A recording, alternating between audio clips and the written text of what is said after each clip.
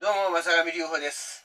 土曜日のこの夕方4時、ホーマが時は、そう、ホーマが時と一緒に正上の動画が出てくる時間でございますけどもね。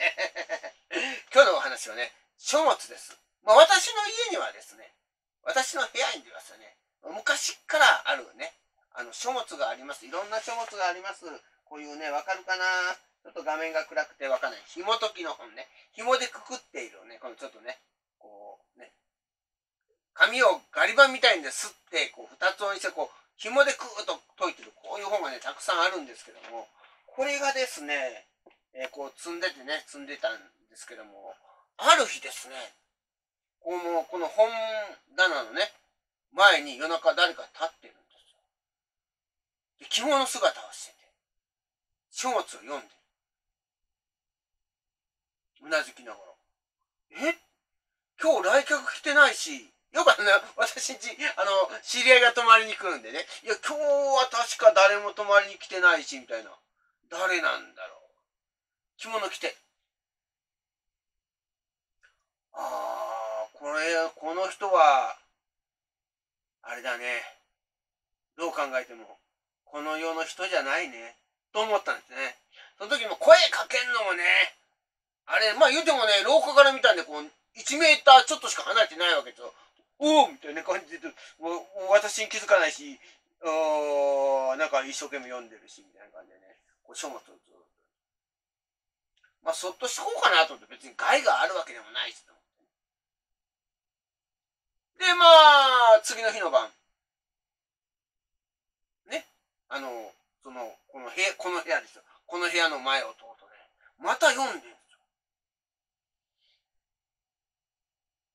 んですよ。ひょっとしてこの人、私の本を読む。つまり、この部屋を図書館代わりにしてんのか？と思ってね。ちょっと、なんか、ちょっとね、なんかね、いやいやいやいや、みたいな。私の本を勝手に読むなよと思いながら、怖いとかそういうレベルじゃないんですよ、もう。常に私の前に、なんだよっていうね。そんな感情を抱きましてね。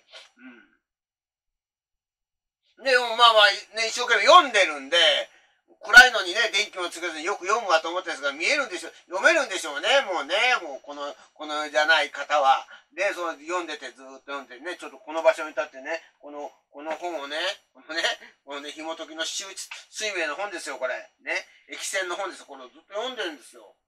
これ読んでるんですよね、ずっとここでタッチ読みして。もっと面白いね、興味深い本って他にたくさんあるんですよ。わざわざこれなんで読むんだろうと思って。まだ、でそれがね、一週間ぐらい続きまして。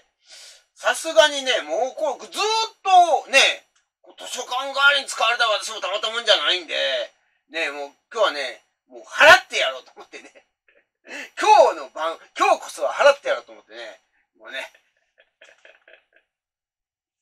もうね、でも、もう払ってやると思ってね、前まで来たらね、いつも読んでる、その方がね、ふーっとこっちを見たんです。